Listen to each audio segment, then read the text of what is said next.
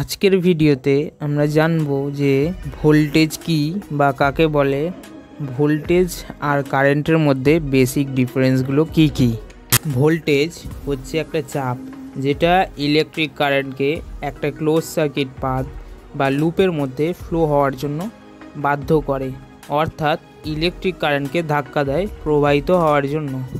আরও ভালোভাবে বলতে গেলে, ভোল্টেজ ইকাল টু প্রেসার যেই প্রেসার এর জন্য ইলেকট্রিক কারেন্ট এক জায়গা থেকে অন্য জায়গায় ফ্লো হয়।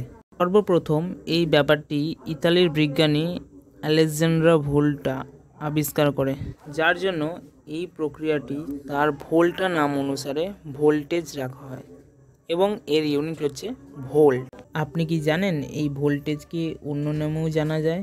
যেমন ইলেকট্রোমোটিভ ফোর্স সংক্ষেপে ইএমএফ এবং পোটেনশিয়াল ডিফারেন্স তাহলে পরের বার যখনই এই নাম দুটি শুনবেন, তখন ভাববেন ভোল্টেজের কথাই বলা হচ্ছে। এবার তাহলে জেনে নেওয়া যাক এই নাম দুটি কখন বা কোন অবস্থাতে ব্যবহার হয়। নন ইলেকট্রিক্যাল সোর্স থেকে যে সমস্ত বিদ্যুৎ উৎপন্ন হয়, তাকে ইলেকট্রোমোটিভ ফোর্স বলা হয়, সংক্ষেপে ইএমএফ যেমন নন ইলেকট্রিক্যাল সোর্স বলতে যেমন ব্যাটারি কেমিক্যাল এনার্জি থেকে ইলেকট্রিক্যাল এনার্জি তৈরি করছে বা কনভার্ট করছে। বা ইলেকট্রিক্যাল জেনারেটর যেটা মেকানিক্যাল এনার্জিটাকে ইলেকট্রিক্যাল এনার্জিতে কনভার্ট করছে। এই ক্ষেত্রেই ইএমএফ ইলেকট্রোমোটিভ ফোর্স কথাটি ব্যবহৃত হবে। পোটেন্সিয়াল ডিফারেন্স হচ্ছে একটি সার্কিটের দুটি বিন্দুর মধ্যে চার্জ বাহকের শক্তির পরিমাণের পার্থক্য। আসুন এই ব্যাপারটা সহজভাবে বোঝা যাক। এখানে বিকার এ থেকে বিকার বিতে জল প্রেসার আর গ্র্যাভিটির জন্য ফ্লো হচ্ছে।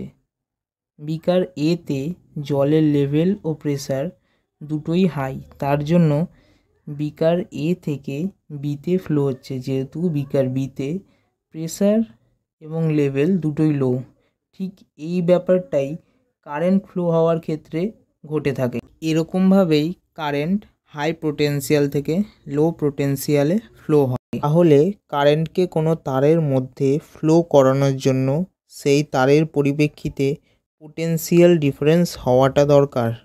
তবে জেনে নেওয়া যাক ভোল্টেজ এবং কারেন্টের মধ্যে বেসিক ডিফারেন্সগুলো কি কি?